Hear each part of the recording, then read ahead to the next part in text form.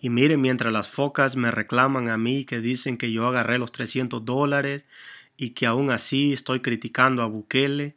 Pero miren, los que sí agarraron los 300 dólares son los pandilleros. Miren esta investigación de la fiscalía.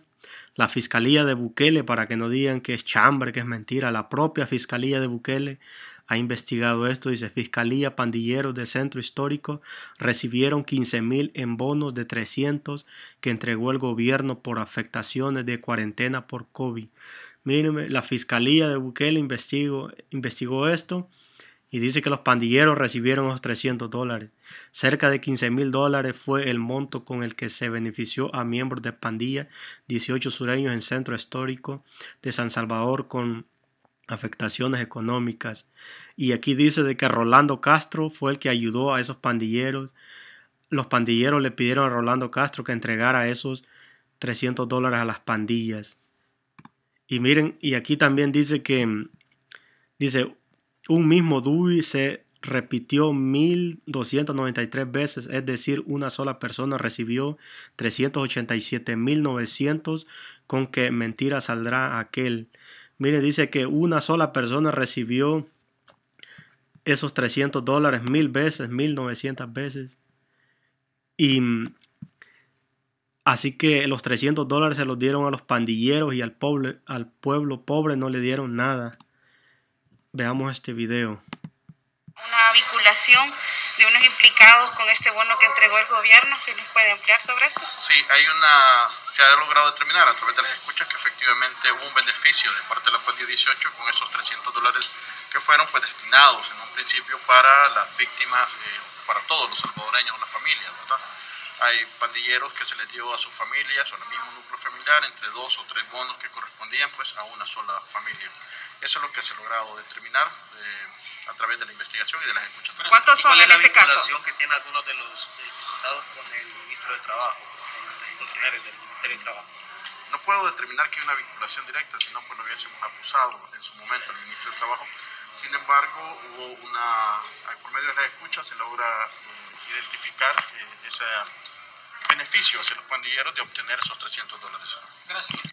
Miren lo que dice aquí, este es un fiscal Dice que por medio de escuchas telefónicas determinaron que Rolando Castro les ayudó a los pandilleros para que recibieran esos 300 dólares. Pero a Rolando Castro no le van a hacer nada, como es el ministro de Bukele. A ese lo protegen. Mientras tanto, la gente que salió para la pandemia a ver si les daban los 300 dólares no les dieron nada. Hicieron grandes filas para, para ver si les daban eso y nada. Pero a los pandilleros, sin hacer fila, les depositaron los 300 300 dólares.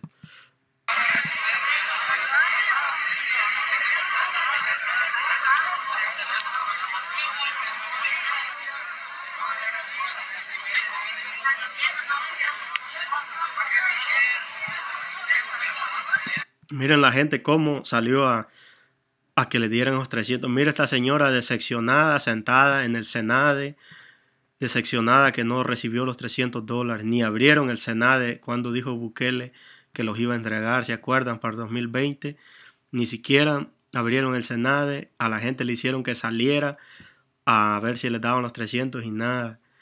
Miren cómo salió la gente y no les dieron nada, pero a los pandilleros sí les dieron los 300. ¿Por qué? Porque Bukele es el pacto que tiene Bukele con las pandillas. A, los pandilleros le dan beneficios hasta la caja de comida le dieron las pandillas. Miren, dicen que no hay tregua, dicen las focas que no hay tregua con las pandillas. Si no hubiera tregua, entonces Bukele no beneficiara a las pandillas. Les dio los 300 para que reduzcan los homicidios. Es la tregua que tiene. Bukele le da beneficios a las pandillas para que reduzcan la, los homicidios. Por eso han reducido los homicidios. Y en los penales, en el penal Mariona tratan bien a los pandilleros porque ahí están los jefes de las pandillas, así que los tratan bien, les dan buen trato para que reduzcan los homicidios.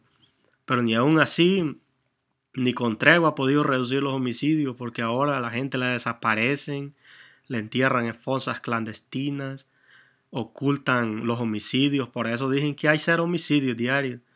¿Por qué? Porque ocultan los homicidios. La pena oculta todo, la información es privada Si, si la información fuera pública, entonces nos enteráramos de cuántos homicidios hay, cuántos desaparecidos. Si no hubieran desaparecido, a diario sale gente que ha desaparecido. Así que ni con tregua ni dándole 300 a los pandilleros pueden reducir los homicidios. Mire, pero a Rolando Castro no le hace nada a Bukele. Por eso le quitaron la visa a Rolando Castro. Porque este, este es un gran pandillero. Este, este pacta con las pandillas, ayuda a las pandillas. Por eso le quitaron la visa y estaba llorando. Le dijo que no, que yo no ocupo la visa, renuncio a la visa, dijo de primero y después no, estaba llorando que le regresaran la visa. Pero ya no se la regresan porque es un pandillero este. Y esa investigación la hizo el ex fiscal Raúl Melara. Esa información se la entregó a Estados Unidos, Raúl Melara. Por eso Estados Unidos ya sabe el pacto de pandillas que tiene Bukele. Ah, no, pero las focas dicen que es mentira, que el faro no pone pruebas. Todo es, chambre. Si todos sabemos que hay un pacto de pandillas, si en el mismo gobierno hay pandilleros, Slinton, Carlos Marroquín es el mero enlace directo con las pandillas. Mario Durán también se reunió con pandillas. Pero las focas dicen que es mentira, ni con pruebas. Y esa investigación es de, es de la fiscalía, ahí dice, el, el propio fiscal salió hablando ahí. Esa investigación no es chambre. Ya van a salir las focas diciendo es chambre. Todo es mentira.